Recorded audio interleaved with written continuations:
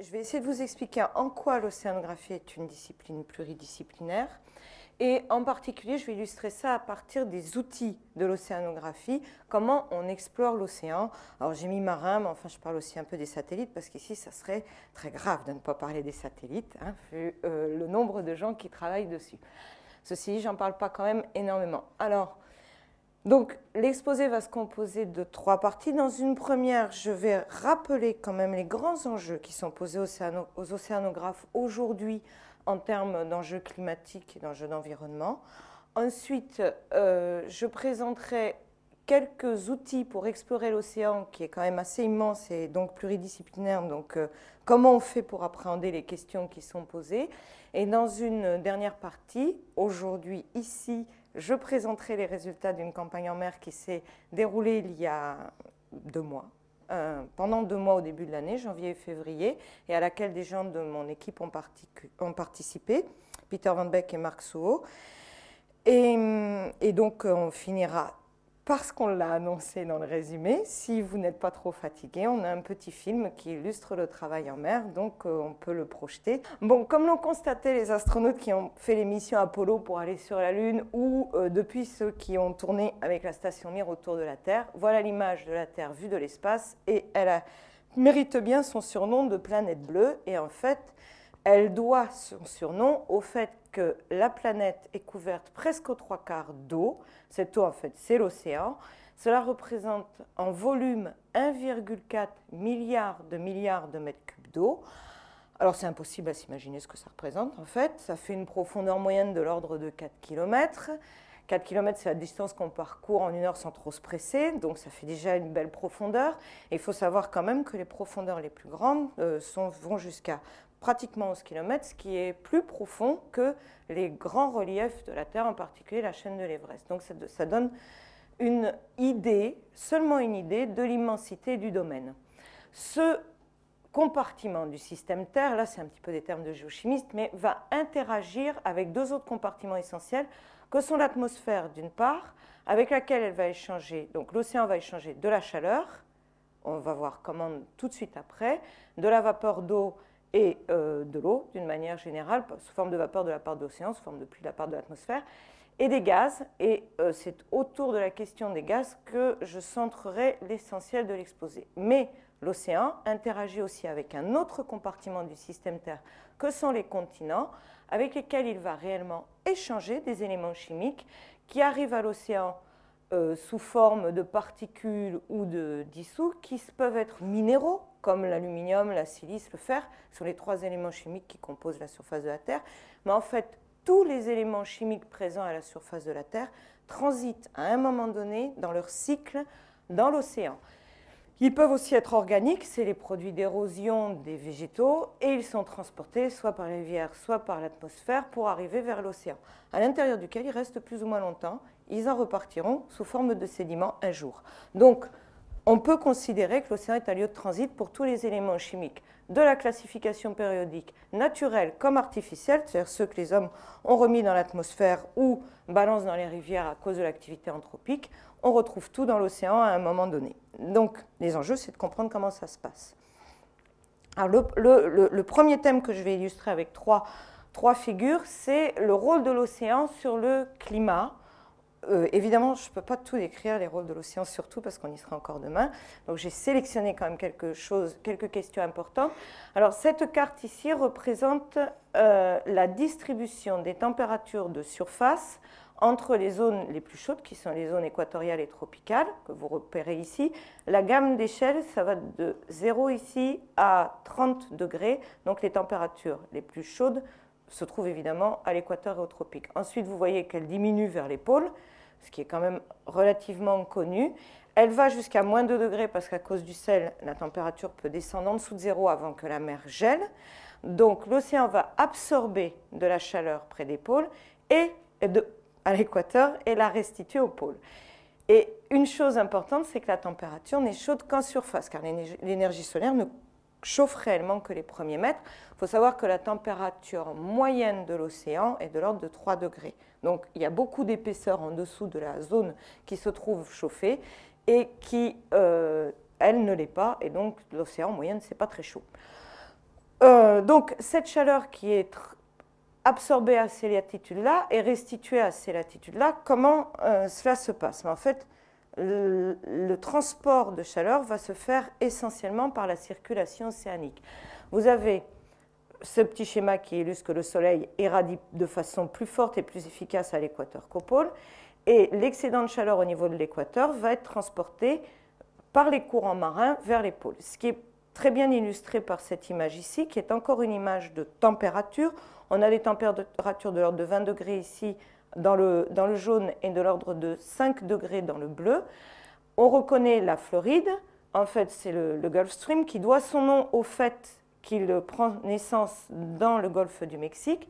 Ce Gulf Stream est un courant marin absolument énorme qui va avoir pour propriété de transporter des eaux chaudes, comme on peut le suivre là, euh, d'abord le long des côtes américaines, puis de s'en détacher à peu près à la hauteur de New York, et il va traverser l'Atlantique et entraîner ces eaux chaudes vers les côtes d'Angleterre, de Bretagne, où il y a des microclimats magnifiques, et euh, où on peut encore monter plus haut. On peut, encore monter plus haut le long des côtes de Norvège, je vais en parler tout de suite. Alors comment ça marche cette circulation? Là, on rentre dans un schéma un petit peu plus compliqué. On retrouve le, le courant du Gulf Stream ici.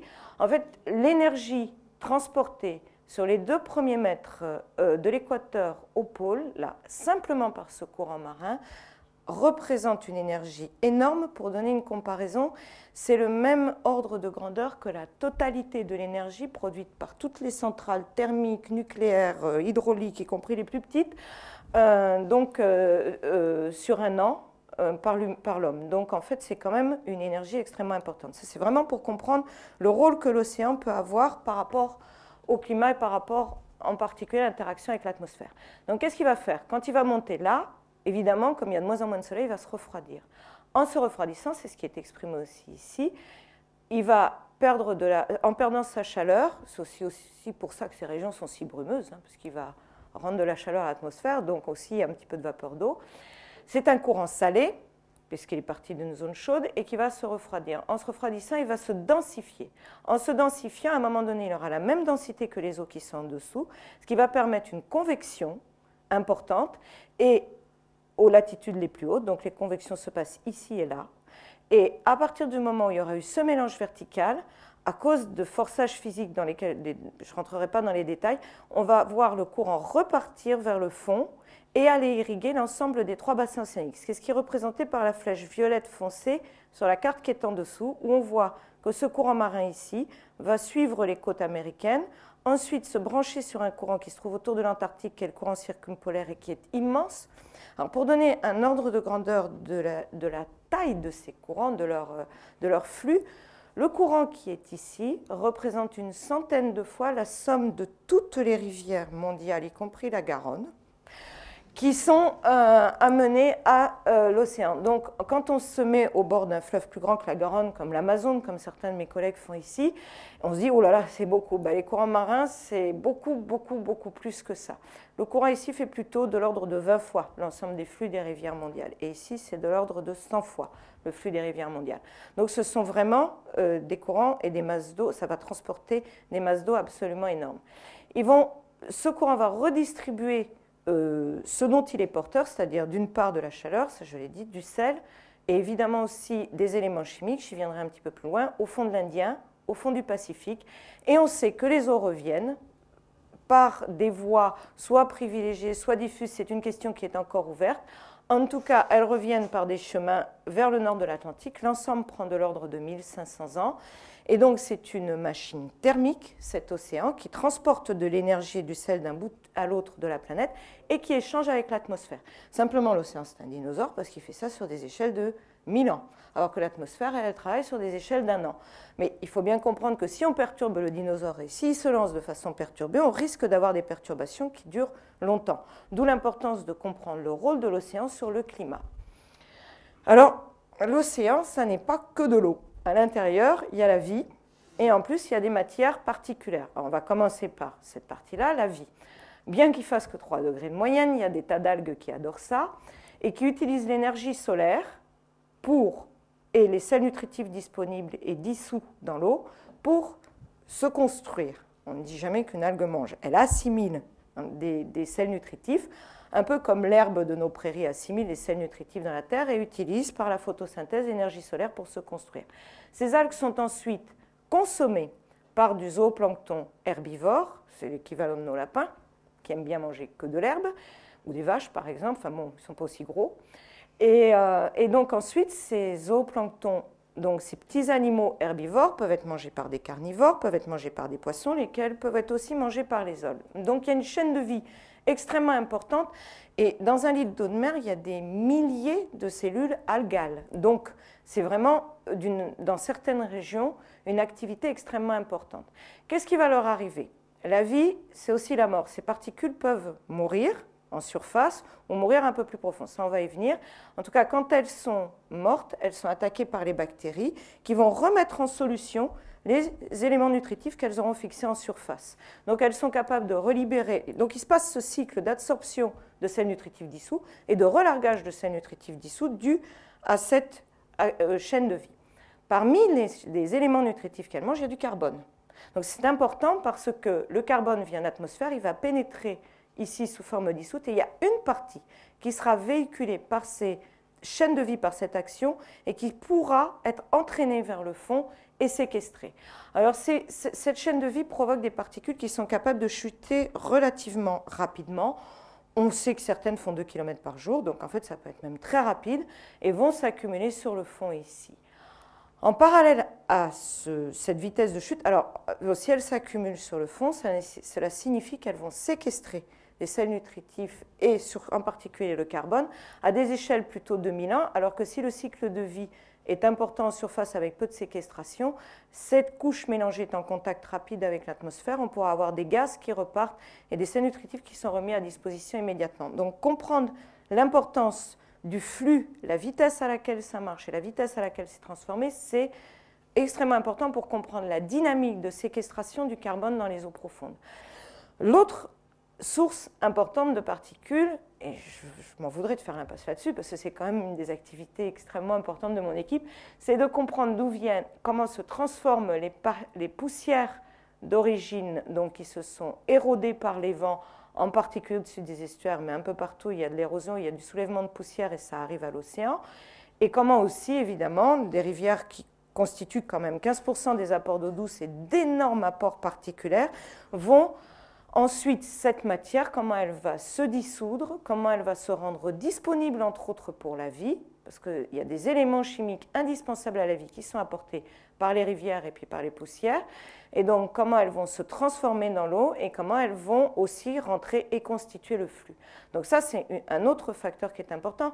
Il faut savoir, pour prendre conscience de l'importance de ces flux, il suffit d'observer ce qui s'est passé la semaine dernière. Il y avait du vent d'autant, il y avait aussi probablement du sirocco, parce que le matin, on pouvait trouver des couches de sable sur les voitures.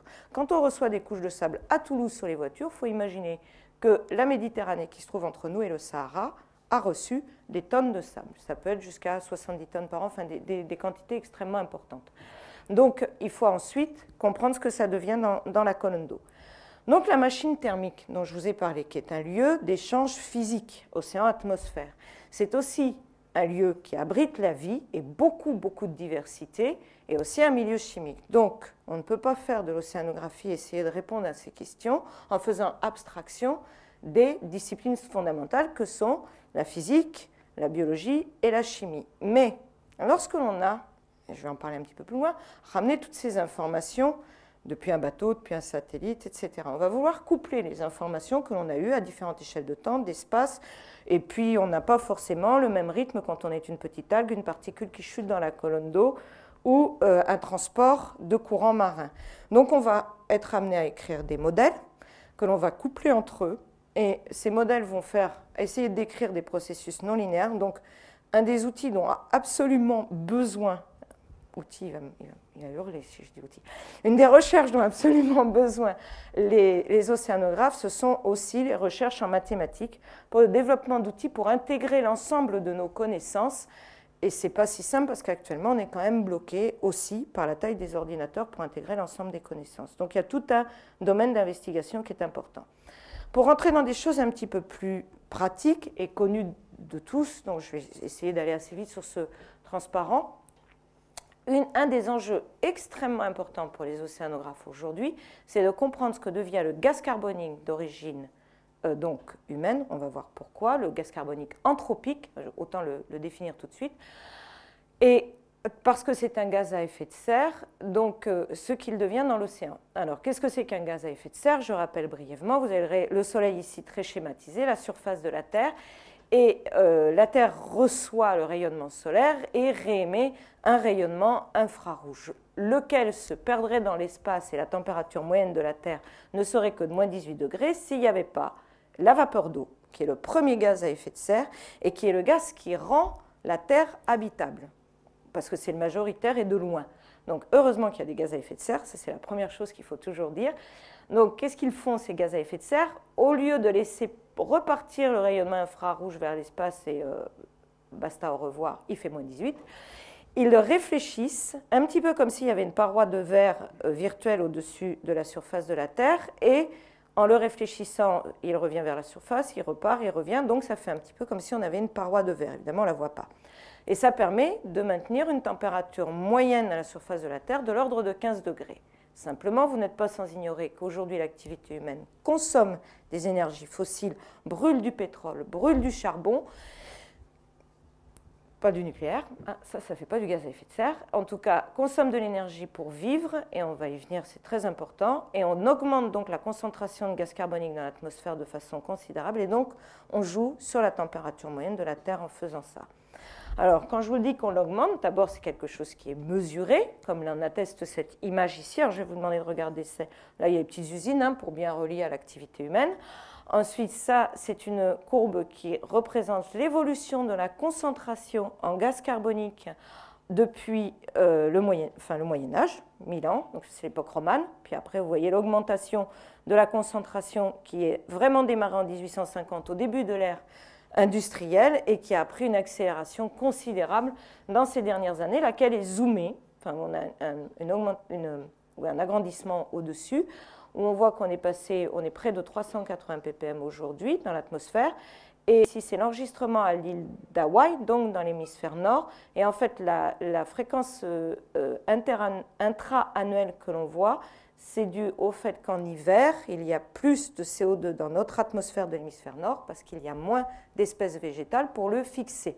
Donc celles-ci ont un rôle, comme je vous le disais, elles ont un rôle sur la Terre et elles ont un rôle en mer aussi pour fixer du gaz carbonique. Mais malgré leur effort, celui de l'homme est plus dominant, donc on rejette des gaz carboniques dans l'atmosphère. Cette courbe, ces, ces, quelques courbes sont assez éloquentes parce qu'elles montrent l'augmentation de la population depuis 1800, elle montre l'augmentation ici de la consommation d'énergie. Vous voyez que la population de la Terre a sérieusement augmenté, depuis, en particulier depuis 1900. Il y a eu une véritable explosion, mais alors qu'on est de plus en plus gourmand. Hein, parce que la courbe qui est violette et qui représente la consommation d'énergie euh, a pas tout à fait la même pente que celle de l'augmentation de la population. ça s'accélère. Et en parallèle à ça, on a l'enregistrement de la température moyenne à la surface de la Terre c'est la courbe bleue, et de la concentration en gaz carbonique, c'est la même que celle que je viens de vous montrer. Et on voit qu'il y a une excellente corrélation. Comme dit dans la pub, il faut se dépêcher, ça chauffe. Oui, c'est vrai, on réchauffe actuellement la, la, température moyenne de la Terre, avec tout ce que cela peut induire comme conséquence. Alors, dans les modèles numériques, on fait des simulations. Vous retrouvez en haut ici, en l'an 2000, la distribution moyenne de la température de la Terre que j'avais montrée tout à l'heure, mais qui était faite à partir de mesures satellites. Là, c'est à partir de modèles numériques, donc c'est une simulation qui est calée sur les données d'aujourd'hui. Donc on voit qu'à l'équateur, on a une température de 30 degrés. Quand l'on monte ici vers les pôles, évidemment, ça refroidit, mais euh, soyez attentifs à ce qui se passe ici parce que ça se réchauffe sérieusement dans la simulation. Dans la simulation pour dans 100 ans, en tenant compte du réchauffement moyen de l'atmosphère, on voit qu'on va avoir une bande équatoriale qui atteindrait plutôt entre 35, de l'ordre de 35 degrés dans certaines régions, en particulier les régions les plus chaudes actuelles de l'océan ben, seraient encore plus chaudes, et puis on voit que le gradient atteint plus difficilement les températures froides quand on monte vers les pôles. Une des conséquences de l'augmentation de température est représentée ici, en 2000, et ça c'est une simulation pour ce qui peut se passer en 2100, c'est une variation simulée de la température globale. Alors il y a une barre d'erreur sur tous ces modèles. On pense qu'elle aura augmenté entre 1 et 3 degrés. C'est minimum 1 et maximum 3 dans 100 ans pour l'instant, mais il y a des prévisions actuellement qui montent à plutôt 4, 5 degrés en fait selon les modèles. C'est toute la difficulté de l'exercice d'ailleurs. dans tous les cas, ça monte, mais on a quand même une barre d'erreur assez importante. Et une des conséquences importantes, et c'est une des choses qui est suivie de très très près au sein de notre laboratoire, c'est la variation du niveau de la mer qui suivrait cette augmentation de température. Alors, on voit qu'elle pourrait être de l'ordre de 20 cm jusqu'à 80 cm à 1 mètre de variation du niveau de la mer. En fait, elle est déjà observée, cette variation du niveau de la mer, c'est ce que je résume en dessous. Sur 100 années, on a grâce aux satellites qui permettent de mesurer la hauteur de la mer, on pense que sur les derniers 100 ans, elle a augmenté de 1,8 mm par an. Et depuis 1993, les mesures satellites euh, sont assez fermes. En tout cas, mes collègues me contrediront si je dis une bêtise, mais c'est de l'ordre de 3 mm par an, c'est-à-dire que cette variation du niveau de la mer a augmenté. Une partie majoritaire est due pour l'instant à la dilatation, mais le rôle de la fonte de tout ce dont on parle, les glaciers tropicaux, euh, les, zones sensibles et, aussi les zones polaires, les, parties, euh, les glaciers et les icebergs dans les zones polaires, peuvent aussi contribuer à cette augmentation du niveau de marin. Actuellement, on estime que c'est de l'ordre de 40%. Une autre influence de l'augmentation de ce gaz carbonique dans l'eau de mer peut être une influence sur la santé des algues. Alors, ce que représentent ces images ici, c'est des résultats d'une expérience qui a été faite par des collègues allemands et norvégiens dans des, ce que l'on appelle des mésocosmes. ce qu'on appelle les mésocosmes, c'est les grands bassins qui sont sous environnement contrôlé et qui sont en mer, donc ils sont alimentés par de l'eau de mer, mais sous un environnement contrôlé, ce qui permet de travailler en atmosphère actuelle et en atmosphère dans laquelle on aura doublé le gaz carbonique. Et on observe l'évolution des espèces d'algues. Alors, pour les gens qui ne le savent pas, les algues comme nous, construisent un squelette. Certains ont des squelettes calcaires, d'autres ont des squelettes siliceux. Un squelette calcaire, alors typiquement euh, dans la nature aujourd'hui, où observe-t-on des dépôts euh, dus à des algues qui ont des squelettes calcaires au départ Eh bien, c'est les bassins de craie du bassin parisien, c'est les falaises de Etretat, etc. Donc là, ça c'est vraiment le produit d'algues qui ont des squelettes calcaires, qui ont sédimenté et qui ont stocké ce matériel euh, donc sur les fonds marins sous forme de sédiments. Puis maintenant que la mer s'est retirée, on les voit sous forme de falaises. Donc ces algues à squelettes calcaires vivent dans une eau à un pH donné, c'est-à-dire à une acidité donnée. Si on augmente le gaz carbonique dans l'eau de mer, on va augmenter l'acidité de l'océan de surface.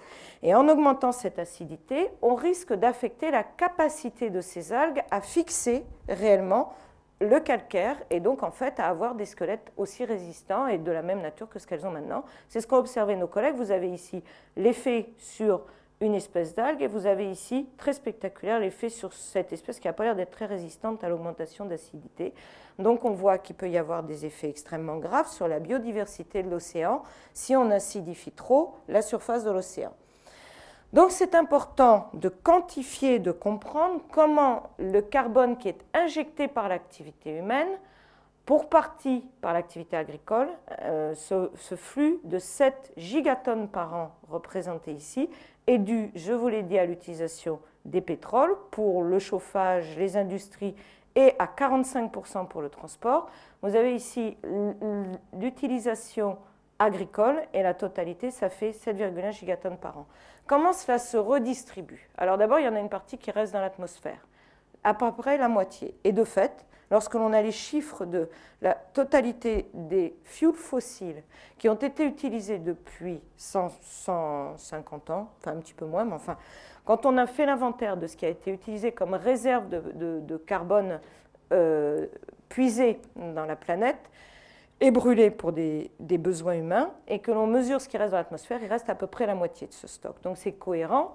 Donc dans, cette concentration, pardon, de ce flux, la moitié reste dans l'atmosphère et à peu près la même quantité est réabsorbée par la croissance de ce que l'on appelle la biosphère, c'est-à-dire les arbres, toute la végétation terrestre, et l'autre moitié est absorbée par l'océan. Donc on va s'arrêter un petit peu sur ce flux-là parce que c'est celui qui acidifie, c'est celui qui peut modifier la chimie de l'océan. Et il est difficile à quantifier parce qu'il représente 2% seulement du flux naturel échangé entre l'océan et l'atmosphère. Il y a un flux extrêmement important qui est échangé entre l'océan et l'atmosphère et qui est dû au fait que ce sont des systèmes à l'équilibre qui échangent des gaz, comme je l'ai expliqué tout à l'heure. Donc il va falloir être assez rusé pour aller mesurer, voir comment, ce que devient ce flux en plus, comment il se distribue ensuite dans la totalité de l'océan. Et c'est une des questions qu'on cherche à résoudre. Donc voilà, en fait, ce que représente cette carte ici, c'est l'état, euh, c'est le produit de 500 000 mesures de gaz carbonique à la surface de l'océan comparé à l'atmosphère. C'est la carte actuelle des flux échangés entre l'océan et l'atmosphère. Et ce que l'on peut constater, c'est que ce n'est pas homogène selon les régions océaniques. En vert, en gros, c'est les régions où il n'y a aucun échange de gaz, ou très peu, entre l'océan et l'atmosphère. En rouge, ce sont les régions où l'océan se comporte comme une bouteille de Perrier qu'on ouvre, sans les bulles. Mais enfin, bon, peut-être qu'on voit les bulles, mais moi, je n'ai pas été voir. Donc, en fait, où il dégaze de, du gaz carbonique vers l'atmosphère, il, il, joue un rôle donc de source de gaz carbonique vers l'atmosphère. Et en bleu, ici, ce sont ce qu'on appelle les zones de puits. Ce sont les régions dans lesquelles, au contraire, le gaz carbonique va pénétrer de façon privilégiée dans l'océan. Donc, ces régions-là font l'objet d'attention particulière parce que cette carte, c'est la carte aujourd'hui, mais compte tenu de la variation de température liée au réchauffement, compte tenu de la variation de la teneur en gaz carbonique, compte tenu de l'évolution éventuelle de la biodiversité, compte tenu de tous ces paramètres dont il faut tenir compte, il est important de comprendre les chemins que prennent le carbone aujourd'hui, par exemple dans les zones puits. Et pourquoi? Et aussi dans les zones sources. Hein. Comment ça se fait dans les zones de dégazage? Comment ça se passe dans les zones de puits? Et si j'ai encerclé ici cette région, c'est parce qu'elle est d'un intérêt particulier. Vous voyez que c'est une zone que l'on pense être un puits important. Et c'est une zone dans laquelle la France travaille beaucoup. Et c'est pour ça, entre autres, que mes collègues Peter et Marc sont partis pendant deux mois, en janvier-février, sur le Marion Dufresne, explorer cette région-là. Alors, c'est ce dont je vais parler maintenant. Mais avant, je vais vous présenter d'abord une vue d'artiste sur tous les outils dont on dispose pour explorer un milieu qui est vaste, qui change, qui est variable, qui change aussi spatialement, et puis qui change en ce moment parce qu'il est en permanence soumis à des euh, paramètres de forçage qui, font qu'il va changer de toute façon, puisque euh, on augmente les gaz, on augmente la température, etc., etc. Donc on a besoin de quoi? En premier, depuis 30 ans, on utilise de plus en plus les satellites. Les satellites nous donnent des informations, je ne pourrais pas en faire la liste la plus complète ici, sur la température, je l'ai montré, la hauteur de l'océan, qu'on est capable de mesurer avec une erreur de l'ordre du centimètre, donc qui donne des informations extrêmement utiles à la fois sur la variation moyenne de la hauteur de l'eau, mais aussi sur la circulation océanique. On a aussi des, capteurs satellites qui sont capables de nous donner la couleur de la mer, la hauteur des vagues, ce qui permet de relier à des courants, euh, à des, forces de vent. On a la rugosité, on a des satellites qui, ce sont les mêmes mais utilisés différemment, qui permettent de regarder l'évolution des calottes polaires. C'est aussi un thème de l'activité du laboratoire ici. Donc le satellite est extrêmement important. Simplement, il a en plus comme grand avantage, c'est qu'il tourne autour de la planète.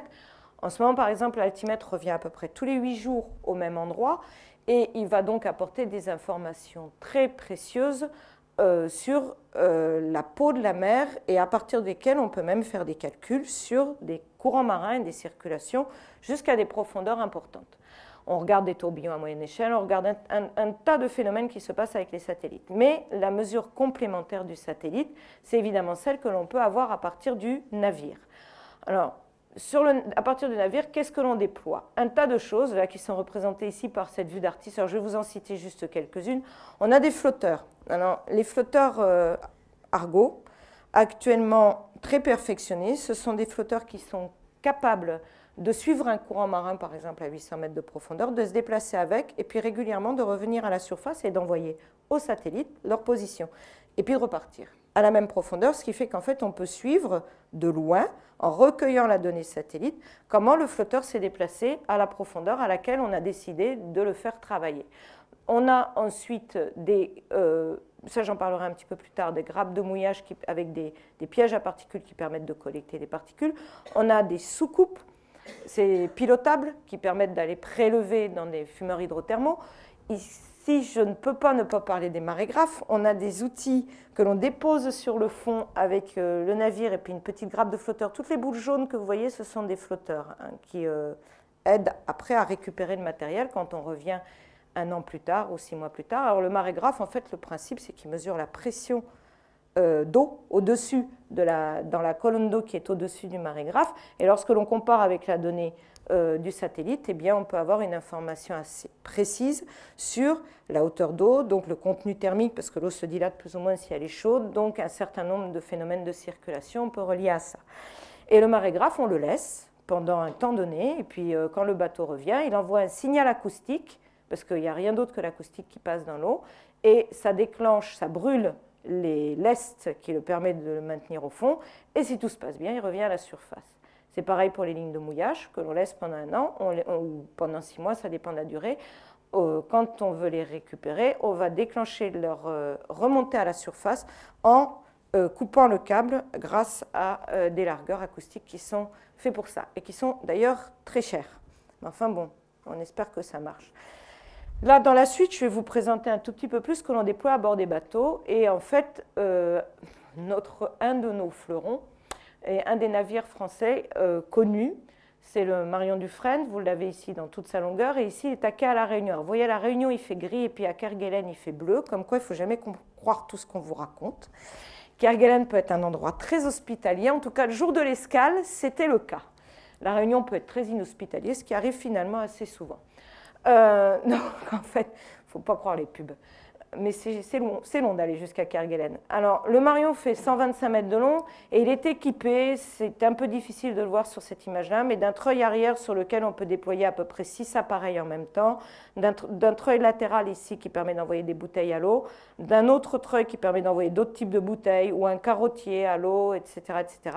Et il peut euh, te contenir de l'ordre de 120 personnes, un maximum de 60 scientifiques, une campagne en mer de type de celle que Marc et Peter de faire, il y a plutôt de l'ordre de 40 scientifiques parce qu'il y a des laboratoires pour pouvoir traiter des échantillons à bord du bateau. Alors en mer, de quoi on se sert? Ici, on voit euh, l'outil de base, qui est la bouteille. On appelle ça une bouteille, mais enfin, ça n'a pas du tout une tête de bouteille.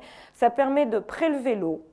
Alors, comment on fait pour prélever l'eau? Compte tenu du fait qu'on va avoir très vite des pressions de 100 bars, 200 bars, 300 bars. On ne peut pas envoyer des bouteilles fermées parce qu'elles imploseraient. Donc on envoie des tubes cylindriques ouverts aux deux extrémités, ce qu'on voit ici, et euh, on déclenche leur fermeture. Alors le, petit fil qui est là les permet de les maintenir ouvertes et on, les dispose en couronne autour d'une rosette. C'est l'image suivante vous montrera ça.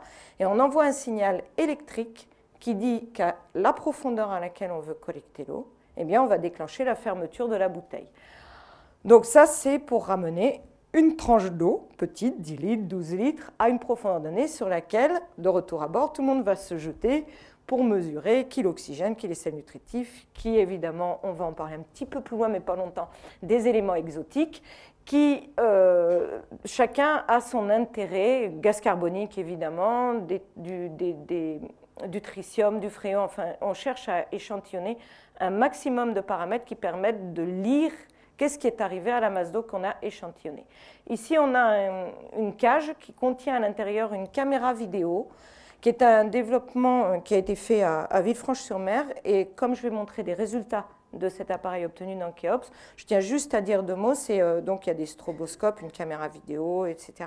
Et il y cela permet de filmer et de faire de la reconnaissance d'espèces de particules dans la colonne d'eau avec un outil qui descend à la vitesse euh, accrochée au câble et à la vitesse du câble. Donc on a la capacité d'identifier des espèces vivantes ou des particules, des agrégats en fonction du euh, d'espèces. Ici, deux mots sur les carottiers longs qui permettent de faire de la paléo-océanographie, c'est-à-dire de reconstituer l'histoire dans le passé. Pour cela, il faut ramener des morceaux de sédiments qui ont intégré toute une histoire. Et pour faire ça, on envoie donc des tubes en PVC. Au bout d'un, enfin, ceci étant, ils sont quand même dans un tube en acier. Et ils vont avoir un lest. Peter, tu me dis si je dis une bêtise, mais c'est l'ordre de 12 tonnes de lest? 2. C'est plus petit que ça. Donc, moi, je n'ai pas trop carotté. J'ai vu carotter, mais je n'ai pas trop carotté. Donc, en fait, on, envoie le tube avec un lest de 2 tonnes sur la tête. Donc, il va descendre extrêmement vite dans la colonne d'eau et percuter le sédiment et rentrer dedans en espérant. Ensuite, il peut euh, pénétrer jusqu'à 60, 65 mètres. Le Marion Dufresne est, est équipé d'un carottier particulièrement performant et qui permet d'aller très très profond. Ici, c'est un appareil euh, japonais qui euh, permet de faire des mesures en continu de gaz, etc. dans l'eau. Voilà. Donc, le retour à bord de l'eau de mer, ce que je vous ai dit, alors là, vous voyez la rosette. Donc, ce sont toutes les bouteilles qui sont installées en couronne. On fait d'abord descendre le matériel avec les bouteilles ouvertes à la profondeur de 5000 mètres, qui est la profondeur du fond. On dit, bon, bah, maintenant on remonte. Alors, je tiens à dire d'abord qu'à la base, il y a des capteurs qui mesurent en continu la température, la salinité, l'oxygène, la pression. Donc, on a des informations permanentes avec des capteurs physiques, mais que pour les calibrer, on est toujours obligé de mesurer la sanité dans les bouteilles à des profondeurs discrètes. Là, la mesure, elle se fait toutes les secondes, et là, c'est à la profondeur à laquelle on a fermé. Mais ça permet d'éviter de mesurer des choses qui ont dérivé. Un capteur, ça a toujours tendance à dériver un peu. Donc on recale avec la mesure faite sur la bouteille. là, vous avez la couronne fermée qui remonte pleine d'eau de toutes les profondeurs. Et vous voyez les gamelles et les bidons. C'est vraiment ça. Il y a des petits tuyaux à la base de la bouteille et on récolte l'eau de mer à des volumes plus ou moins grands. Alors là, vous voyez, les gros gourmands sont les géochimistes, ils ramassent toujours des volumes importants. Un autre outil qu'on utilise de plus en plus, c'est extrêmement difficile de prélever les particules dans l'eau de mer parce qu'elles ont un rôle important, mais elles sont abondantes à 50-100 microgrammes par litre quand il y en a beaucoup et 10 d'une manière générale. C'est-à-dire qu'en fait, il n'y en a pas beaucoup par litre d'eau de mer. L'eau de mer, c'est beaucoup d'eau de mer et puis un petit peu de plein d'autres choses qui jouent un rôle important. Donc pour les prélever, on met des pompes comme ça. Alors ça, c'est un moteur de pompe et la pompe va marcher comme une, comme une pompe de jardinier. Non, je, caricature parce que c'est beaucoup plus compliqué comme système, mais c'est le principe. On aspire de l'eau à travers des galettes de filtre qui se trouvent ici dans des, dans des, dans des mâchoires en téflon. Donc les filtres sont à l'intérieur, on aspire de l'eau au travers et on fait passer cette eau à travers les filtres et on la rejette, on s'en débarrasse après. Ce qui compte pour nous, c'est d'être capable de mesurer, d'avoir, de collecter de l'ordre de 1000 litres d'eau sans ramener 100 euh, bidons de 10 litres à la surface, évidemment, et sur le bateau. Et on a un petit sac qui sert, ça c'est une expérience que Peter a tentée, c'est de pour euh, ramasser le maximum d'un élément chimique qui l'intéresse énormément. Il l'a bourré d'oxyde de, manganèse et puis il laissait le sac euh, faire son prélèvement, c'est-à-dire l'élément chimique s'absorber sur ce petit sac à la profondeur à laquelle la pompe pompait pour en avoir encore plus encore, parce que le bateau, pendant un temps de pompage qui dure à peu près 3 heures, il traverse beaucoup, beaucoup de masse d'eau. Ici, on reconnaît aisément, ce sont des filets à la base desquels il y a des collecteurs. Ce sont des filets de pêche, mais pas des filets de pêche à poisson. Ce sont des filets de pêche à plancton, et en particulier là, c'est à zooplancton, c'est-à-dire aux petits euh, organismes qui mangent le phytoplancton. Ici, c'est euh, un détail sur ce que l'on appelle un piège à particules. Alors, on s'en sert pour collecter le flux verticale qui chute dans la colonne d'eau. Alors, c'est typiquement un entonnoir en, haut duquel il y a un nid d'abeilles. Il fait à peu près 2 mètres de haut. Vous voyez la personne à côté et 80 euh, kg cet entonnoir. Et euh, donc le nid d'abeilles, c'est pour empêcher les poissons de passer au travers, parce que ces, ces pièges vont avoir pour propriété, comme c'est des entonnoirs, de concentrer la matière et donc d'être attirants parce que c'est une source de nourriture. À la base, ici, il y a un trou et vous voyez une couronne de godet. On programme, avant de mettre à l'eau le piège, la couronne de godet pour expliquer au godet numéro 1 qu'il doit venir sous le trou pendant 8 jours, le 2 qu'il doit le remplacer au bout de 8 jours et rester 15 jours, etc. etc. On en a 24, ce qui fait qu'au bout de 6 mois, on peut avoir, ou d'un an, on peut avoir euh, deux prélèvements par mois du flux de matière qui est tombé pendant des durées de 15 jours. Donc ça nous donne, quand on va récupérer le matériel qui est disposé sur un mouillage, une information sur le flux qui a chuté. Ça, c'est la mise à l'eau. Moi, c'est toujours des manips un petit peu inquiétantes, surtout sur le Marion, ce que vous allez voir rapidement. Quelques mots sur euh, le programme euh, KEOPS. Donc, si je... Juste rapidement, il s'est déroulé dans cette région-là. la France est propriétaire d'îles les Kerguelen sont de la taille de la Corse, on a aussi des îles dans ce coin-là et des îles dans ce coin-là, ce qui fait que le Marion Dufresne a une double mission, celle de faire des manips scientifiques, mais aussi de ravitailler les personnes qui vivent de l'ordre de 80 personnes et 30 000 manchots. Enfin on les ravitaille pas, ils se débrouillent tout seuls, qui vivent euh, sur ces îles. Alors on a aussi des programmes scientifiques, et là l'opération Kéops, elle, elle, a eu lieu entre le 7 janvier et le 23 janvier, et elle avait pour objectif d'aller comprendre, donc vous avez ici la carte des Kerguelen, et on observe depuis euh, plusieurs années, parce que ce n'est pas une idée qui est venue comme ça, que euh, dans cette région ici, il y a toujours beaucoup de chlorophylle. Ce que vous avez là, c'est une image en fausse couleur de couleur de la mer, et quand c'est rouge, c'est qu'il y a beaucoup de chlorophylle, et quand c'est bleu, c'est qu'il n'y a rien. On est à peu près à 50 degrés sud, c'est-à-dire en plein 40e rugissant. Alors, il y a plusieurs questions derrière cette image, c'est celles qui ont sous-tendu le programme Kéops. D'abord, il faut savoir qu'on est donc au milieu du grand courant circumpolaire dont je vous ai parlé tout au début, qui tourne autour de l'Antarctique et qui fait de l'ordre de 100 fois toutes les rivières du monde. Donc c'est un courant extrêmement important. Dans cette région, elle est pleine de questions pour les scientifiques parce qu'elle est très riche en sels nutritifs, donc elle est fertile potentiellement, mais comme vous voyez en dehors de ce plateau, il n'y a pas beaucoup de développement d'algues. Donc c'est une région qui pose un problème paradoxal. C'est un peu comme si on avait de quoi nourrir une prairie grasse normande et qu'il y pousse à peu près autant d'herbes que sur les sommets de l'Aubrac. Donc c'est paradoxal et on essaye de comprendre ce qui limite la production algale alors qu'il y a de quoi la nourrir. Alors, plein d'hypothèses sont avancées, mais parmi les hypothèses, il y en a une, c'est que c'est une région qui est loin de tout apport continental, donc qui risque d'être déficitaire en fer. Le fer, c'est un élément apporté des continents vers la mer et qui a pour propriété de rentrer dans la photosynthèse, puisqu'il rentre dans la molécule de chlorophylle, donc d'être indispensable à la vie. Si les algues manquent de fer, donc sont anémiques, hein, en d'autres termes, on risque d'être dans une situation où effectivement il y a beaucoup de nutritifs et elles ne sont pas capables de l'assimiler.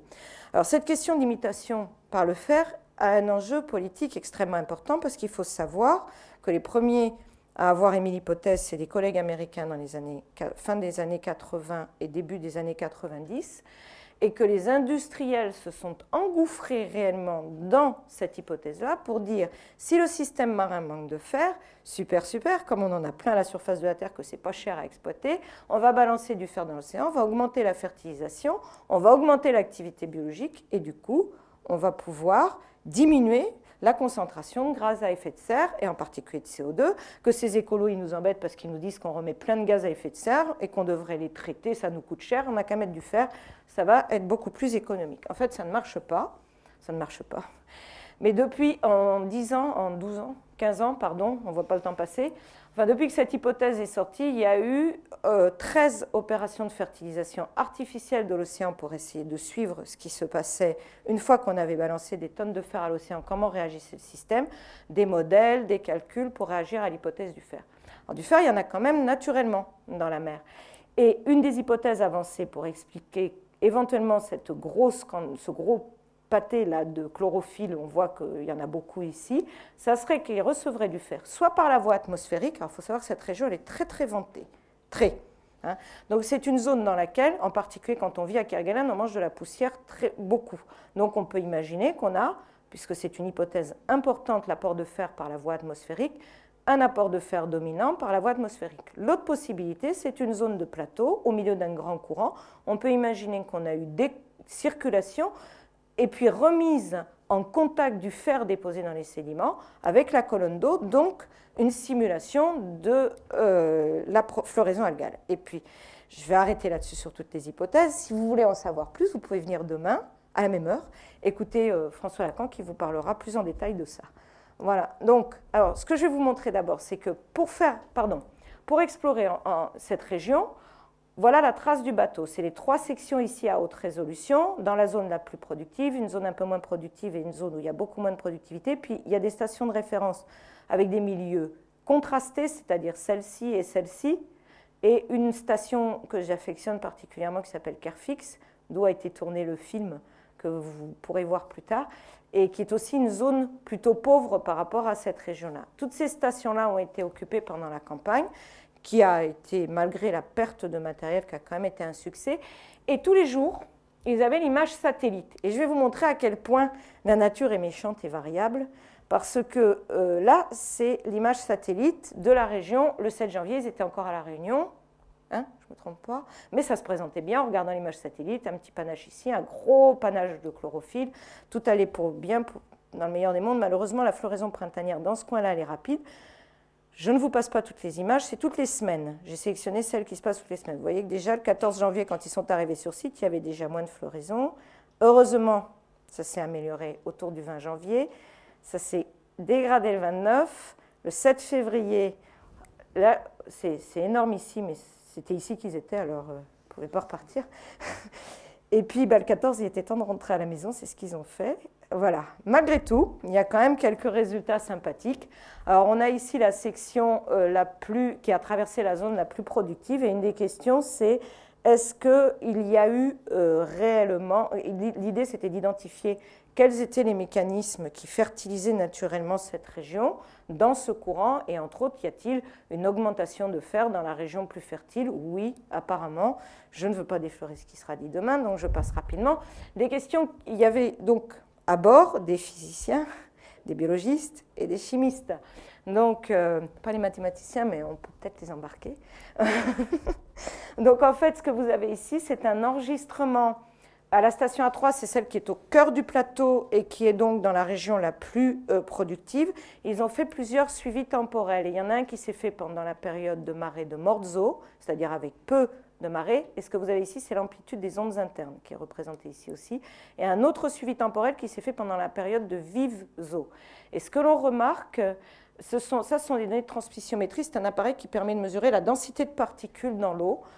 Et quand c'est bleu, c'est qu'il y a beaucoup de particules, et quand c'est rouge, c'est qu'il n'y en a pas beaucoup. Donc on voit qu'il y en a beaucoup en surface, bien sûr, et qu'il y en a beaucoup au fond. On retrouve le transmissiomètre ici.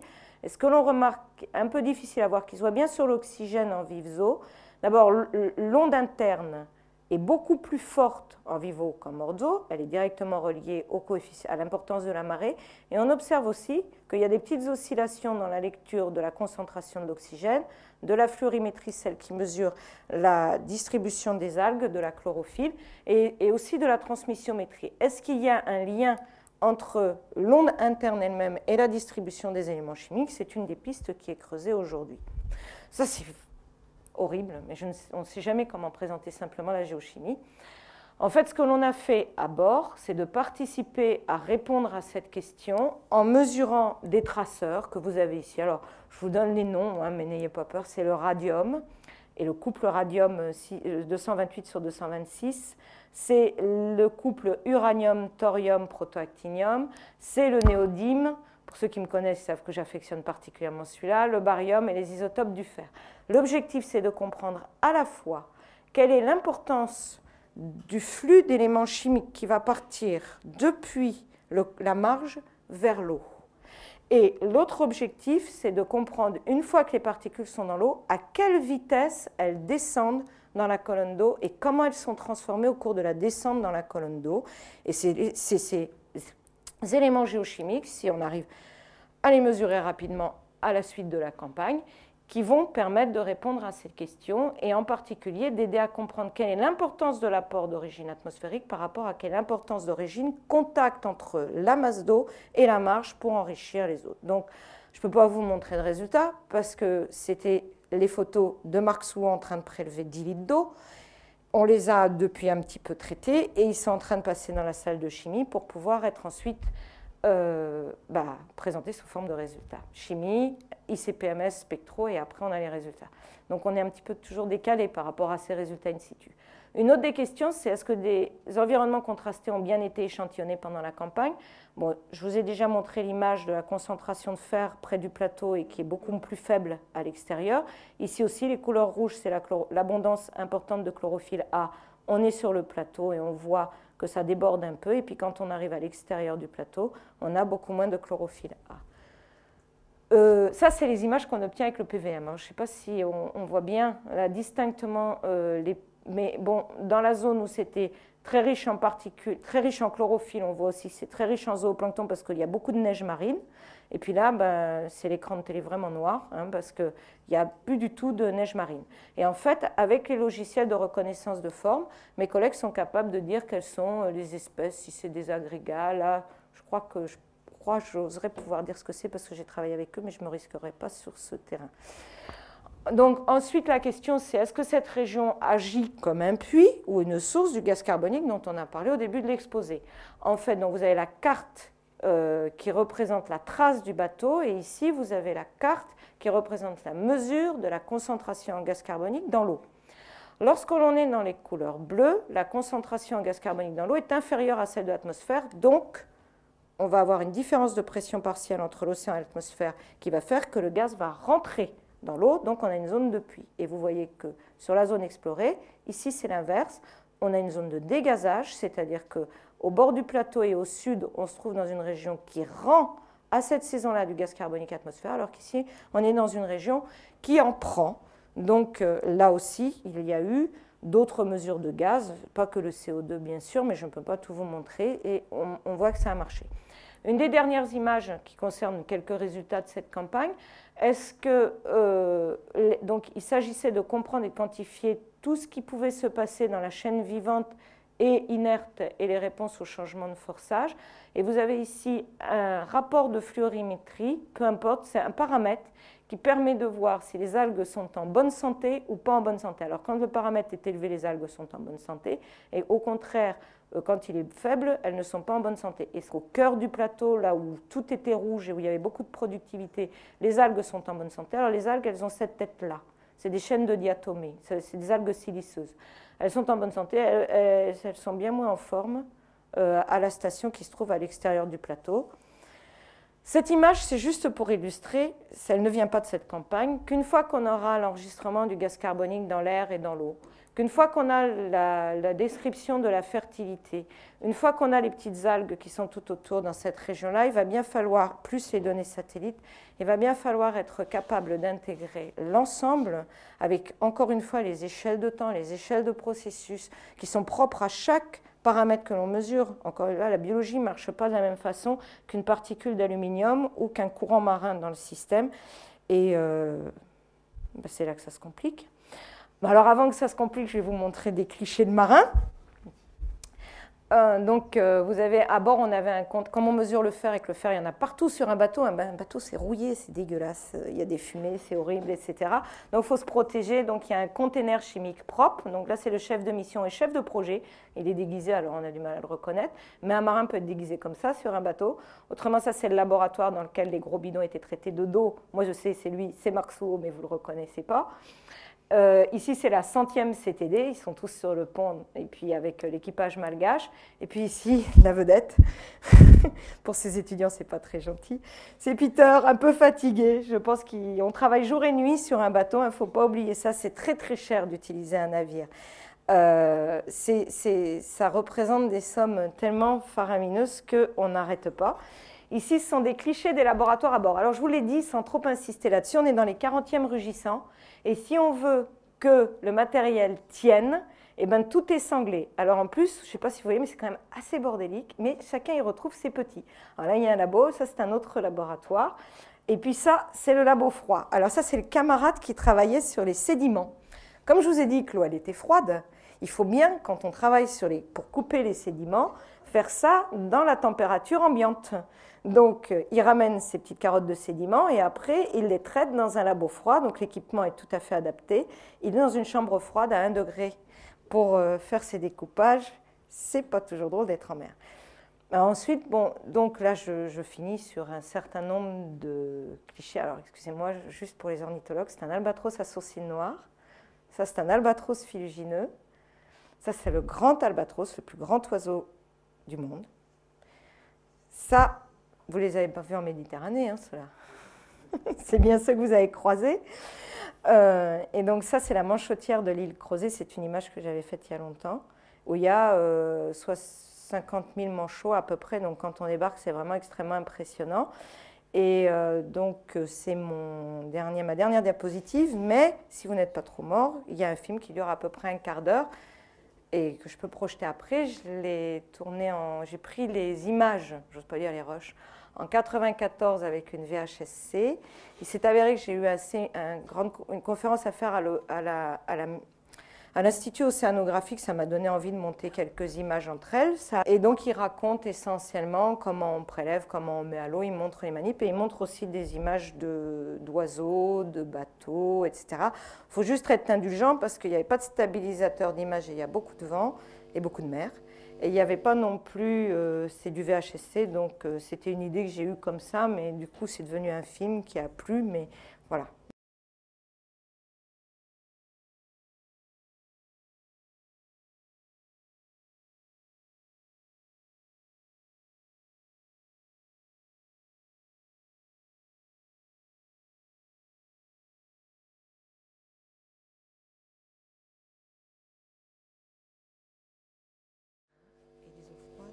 Bon, alors vous êtes dans l'océan Indien.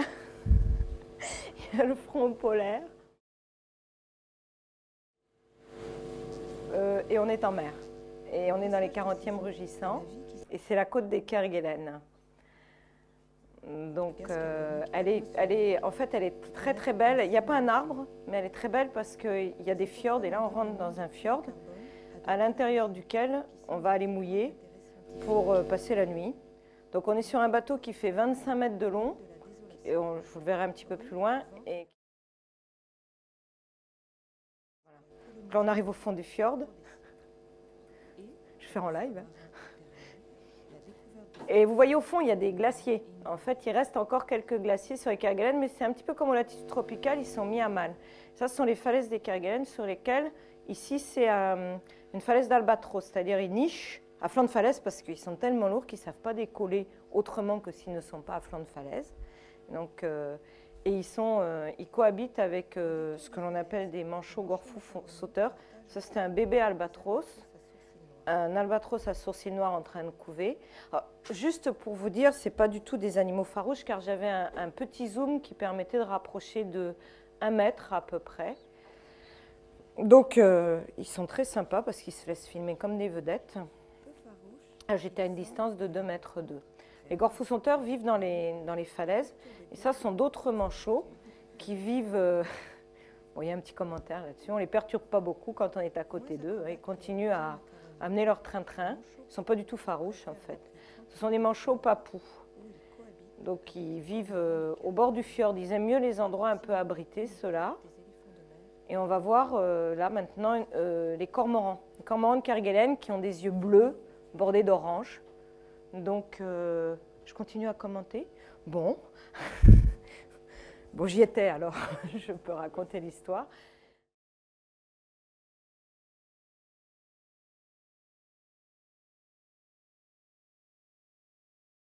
Alors ça, en fait, c'est la baie du Morbihan. C'est là où les, Français ont installé il y a en 50 euh, leur base. Et euh, on y voit ici des éléphants de mer. Alors c'est dommage, il n'y a pas le bruitage parce que ça rote et ça ne sent pas bon du tout, ces animaux-là.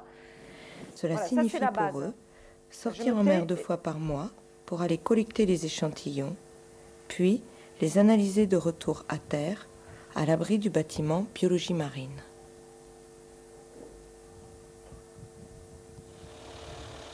Chaque sortie en mer est minutieusement préparée, car une fois au large, il s'agit de ne manquer de rien.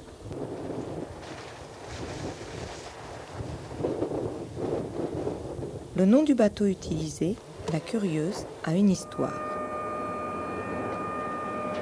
La Curieuse était le nom du dernier bateau des frères Rallier du Bâti qui, au début du siècle, ont tenté de développer une industrie d'huile de phoque sur les Kerguelen. Du bateau d'origine, il reste la couverture du journal de bord et le sourire figé d'un équipage qui ne doutait de rien.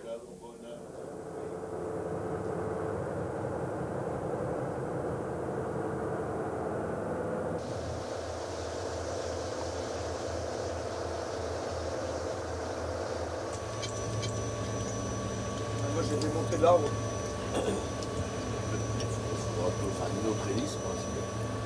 La curieuse appareil de port aux Français pour effectuer les prélèvements requis par le programme CareFix. La coque de cet ancien chalutier de 25 mètres a été aménagée pour des opérations scientifiques. À son bord, nous quittons la base le soir. Les 90 000 qui nous séparent du point Kerfix seront parcourus de nuit, face au vent et aux vagues. Dormira qui peut. Avant l'arrivée sur site, les préparatifs sont fébriles. Ici, faire des épissures pour les filets ou apprendre à manipuler les bouteilles de prélèvement. Ces bouteilles sont de simples cylindres de PVC dont les deux bouchons sont reliés entre eux à l'intérieur par un tendeur et maintenus ouverts lors de la descente de la bouteille dans l'eau. Une fois que la bouteille atteint la profondeur souhaitée, on déclenche sa fermeture par l'envoi d'un poids le long du câble. Le moindre incident et la bouteille remonte ouverte. Il faut alors tout recommencer.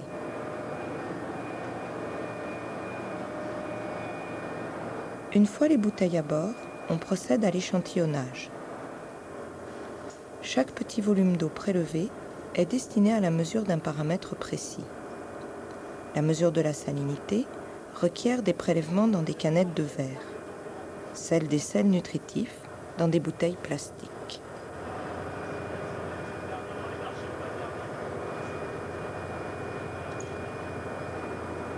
L'analyse de l'oxygène impose les manipulations les plus délicates, car il s'agit de piéger l'oxygène contenu dans l'eau profonde du site en ne laissant pas le temps à l'oxygène de l'air de pénétrer dans l'échantillon. Pour cela, on utilise des flacons à fond large et goulot étroit.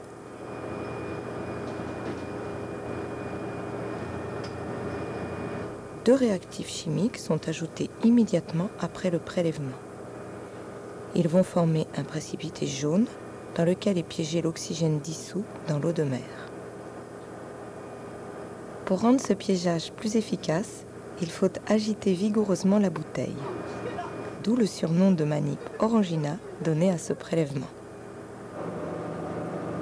Les micro-animaux ou zooplanctons se pêchent à l'aide de filets.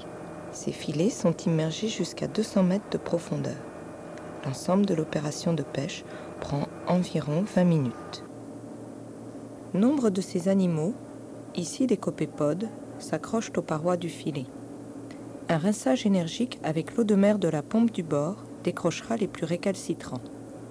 La pêche est ainsi concentrée dans des collecteurs en PVC et sera transportée à terre pour observation et analyse. Quel que soit le temps, les sorties liées au programme Carefix se sont succédées entre une et deux fois par mois pendant cinq ans.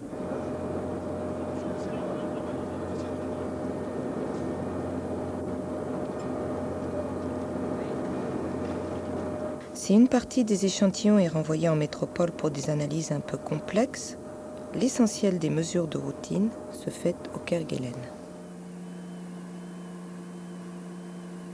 Les canettes servant à mesurer la salinité et les flacons emprisonnant l'oxygène vont ainsi livrer leurs secrets.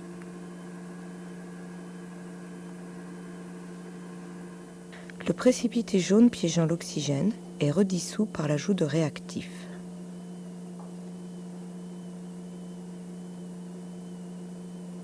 Un barreau aimanté, introduit au fond de la fiole, permet une agitation magnétique de la solution. L'observation du changement de couleur permettra de déterminer la teneur en oxygène de chaque échantillon.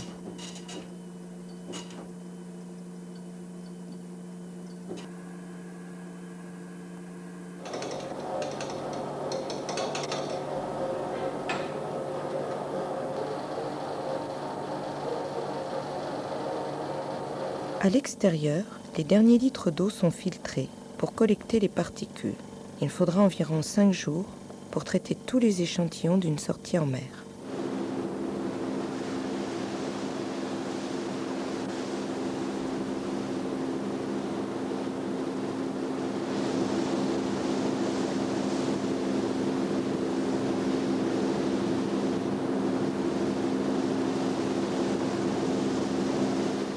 Une ou deux fois par an, la curieuse rencontre le Marion Dufresne au site Kerfix. Les deux navires océanographiques travaillent en parallèle, ce qui permet un contrôle de qualité des données acquises avec la curieuse, parfois dans des conditions de confort tout à fait limites. Le Marion Dufresne a aussi pour tâche de récupérer est de remettre à l'eau la ligne de mouillage équipée d'instruments. La ligne est ancrée au fond par un lest de plus d'une tonne. Une fois le mouillage repéré, on déclenche sa remontée à la surface depuis le marion du frêne en séparant le lest du reste du filin par le biais de largueurs acoustiques. Les flotteurs jaunes et oranges permettent à l'ensemble des instruments d'affleurer en surface. Il n'y a plus qu'à les cueillir au lasso.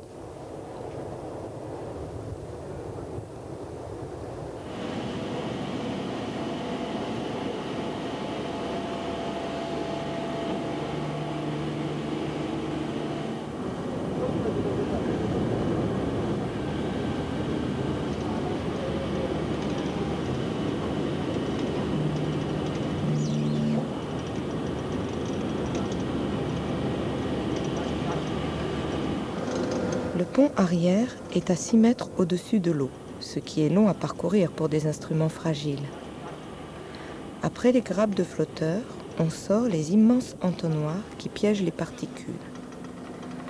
À leur base, un carrousel de godets animé par un moteur programmable permet de collecter les flux de matière verticaux de façon séquentielle dans le temps.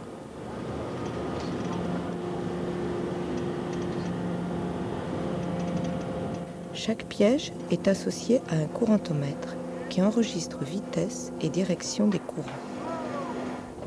La ligne sera remise à l'eau le lendemain. Une des premières tâches est de récupérer les particules collectées dans les godets et de reconditionner ceux-ci pour l'année suivante. On les remplit d'un mélange d'eau de mer et de formol qui assure la conservation du matériel piégé.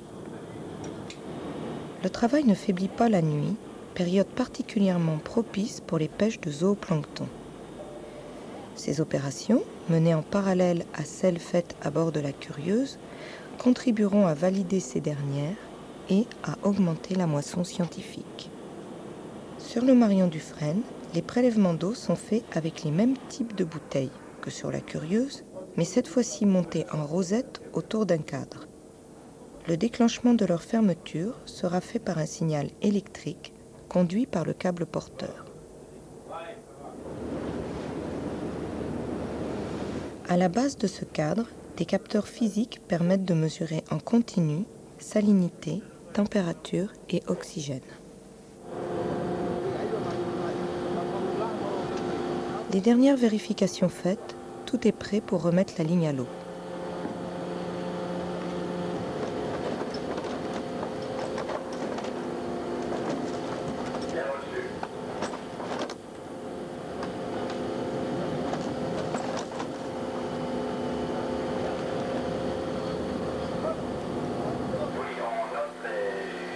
L'opération de filage, comme celle de remontée du matériel, requiert toute la compétence et l'attention de l'équipage.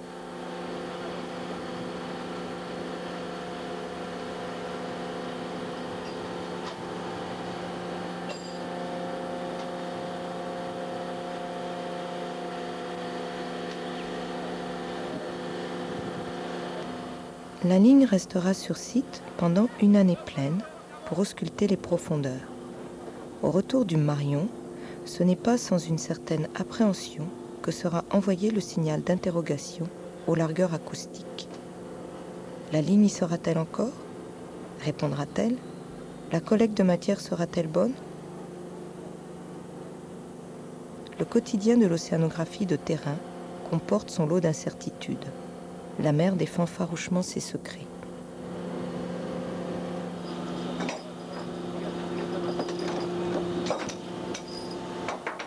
Le suivi mensuel, tel qu'il était organisé dans le cadre de Carefix, s'est terminé en 1995. Depuis, une autre opération a pris le relais. Elle poursuit l'observation des variations du contenu thermique de l'océan en lien direct avec le changement climatique. Pour les besoins des océanographes, et donc de notre compréhension collective du fonctionnement de la planète, la curieuse affrontera encore et pour longtemps les cinquantièmes hurlants.